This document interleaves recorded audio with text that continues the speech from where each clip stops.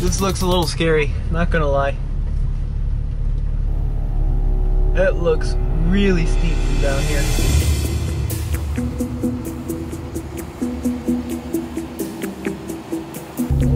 Oh my god, it's nothing but sky.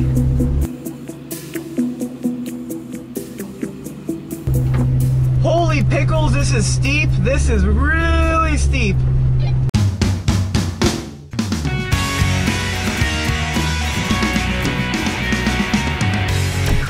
Hi, and welcome to the Fast Lane Car. And today we have a very special episode because we're going where? Moab. Wow, the maturity here is overwhelming. You gotta draw some little ones too, Alex. Oh God, let's just go. No,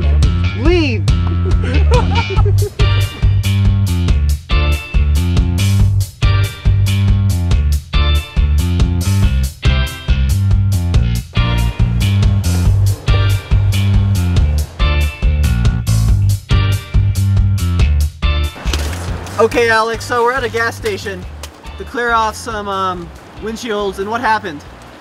Uh, my Jeep died because the battery's dead because my alternator's probably dead. Just hold on to this for now. All right, so we're about eh, 20 miles outside of, 30 miles outside of Boulder, here in Idaho Springs, um, and Alex's car just died. So we determined it is the alternator. It's um, it's, it's gone bad. It's not charging it. So What? now, now what do we do?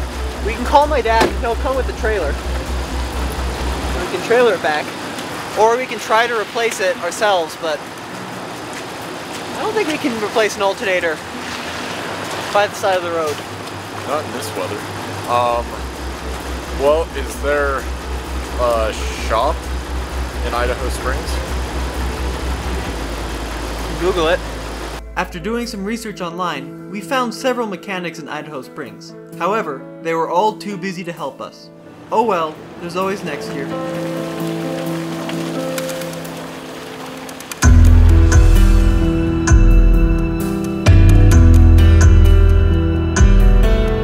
Well, guess where we are? I don't know. Does it have something to do with that sign behind us? Yes. The one that Tommy's head seems to be blocking entirely. Against all odds, we fixed the alternator on the side of the road and made it to Utah. This is definitely my first uh, parking lot alternator change. What about yours? Yeah, I have never changed an alternator in a parking lot. I've never changed one at all, so let's see if we can do it. Alternator equals free. Alright, let's get a new We made it to Utah. All the vehicles are still running, more or less. More or less. Um, knock on wood. But uh, now let's let's get to Moab.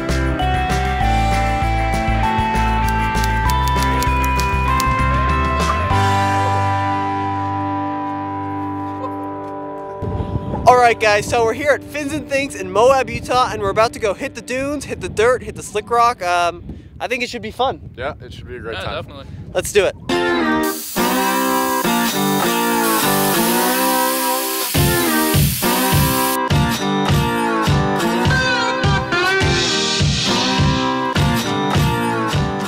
Now, for those of you that don't know, Easter Jeep Safari is a Jeep event that happens right around Easter every year. And it combines thousands of Jeeps from all over the country together in one spot for off-road shenanigans and pictures and group meets. It's just really the pinnacle of Jeep events.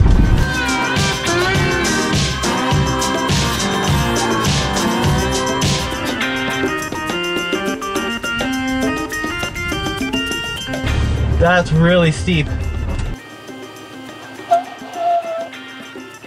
Properly scary here.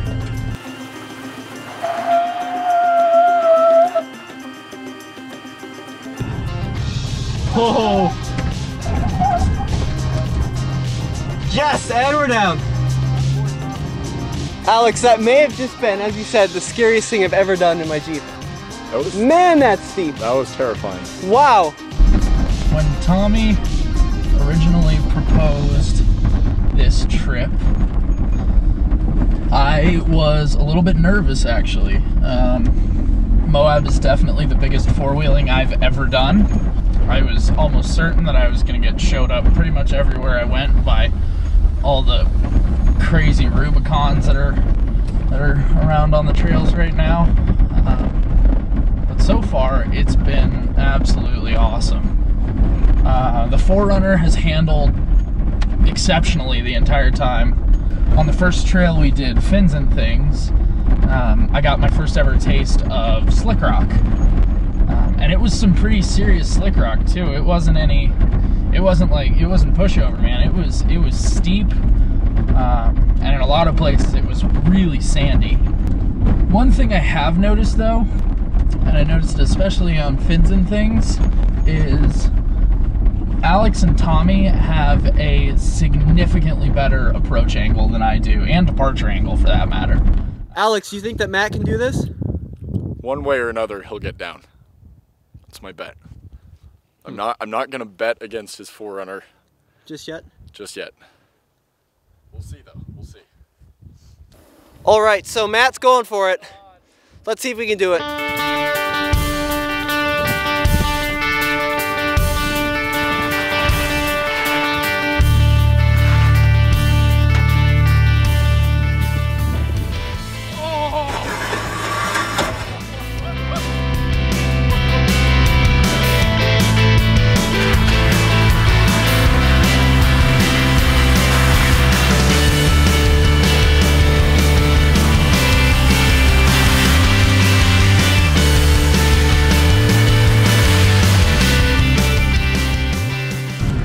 Tons of other knowledgeable people kept saying how much airing down helps things and it's absolutely true. Not only can you get a lot more traction on all rocks, it's so much nicer to be driving on a dirt road at 17 psi and lower than at 35 psi and higher. So 10 out of 10 would recommend. Now this slick rock really requires completely different approach than traditional off-roading. You got some wheel spin and it crawls you right up.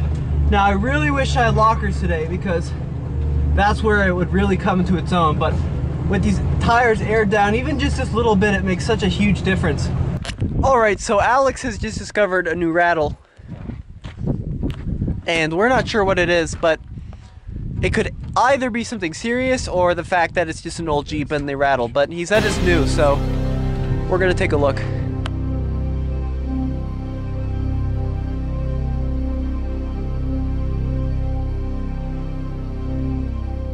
Alex just drove down the road and his wheel is about to fall off. So, did you break an axle shaft? No, those lug nuts are super loose. Oh, it's the lug nuts. Good, those are not supposed to fall off. Hey, so Matt, what's notable about this red dust that's everywhere? It gets absolutely everywhere and it never comes out. Ever. Absolutely ever. I mean, it'll be in the engine bay forever. It'll be in my cab forever. You hit the seats, it's gonna. It's great.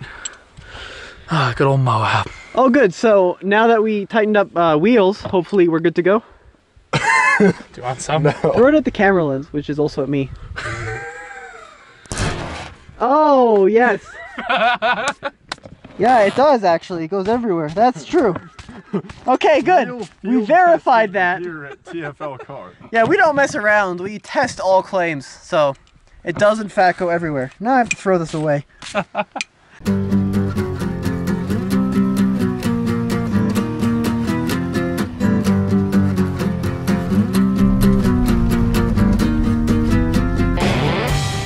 Has the sound gone away? I think so. My music is too loud to know, but I'm pretty sure. Nine Okay. out of ten, sure. Good.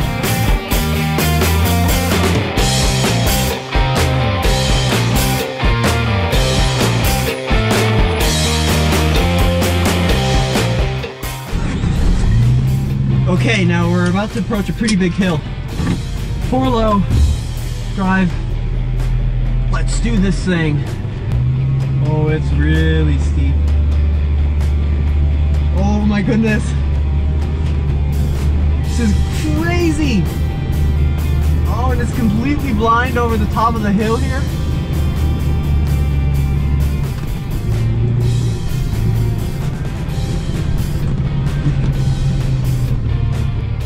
That was bizarre.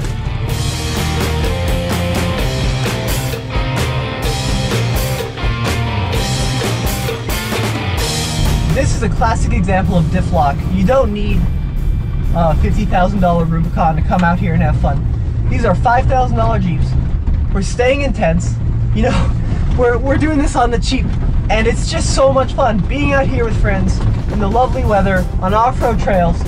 What could be better? I mean, it's just really, really great.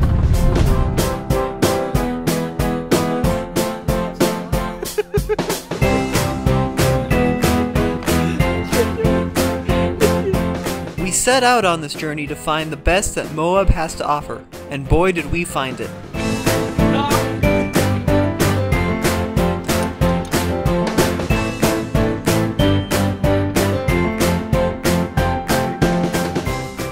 Now, although we have had some issues, that's really part of the adventure.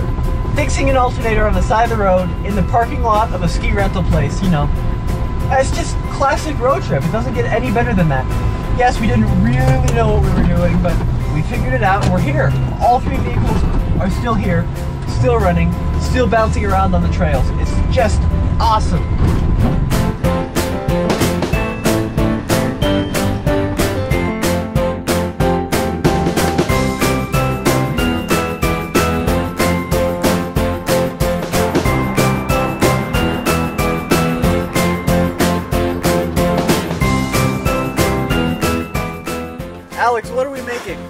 Got the wheels dirty. We're making wieners. It's pretty dirty. Yeah. Dirty weed. Wait, no, no, don't take your weenie. I'm not gonna cook your weenie. Get the buns. Get the Don't buns get the off. buns. You're only cooking one hand of my weenie. Oh, I don't want to touch it Oh my god. with my hands.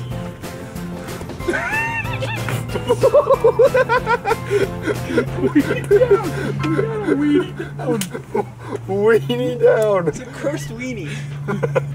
Well, it's because it's all flappy.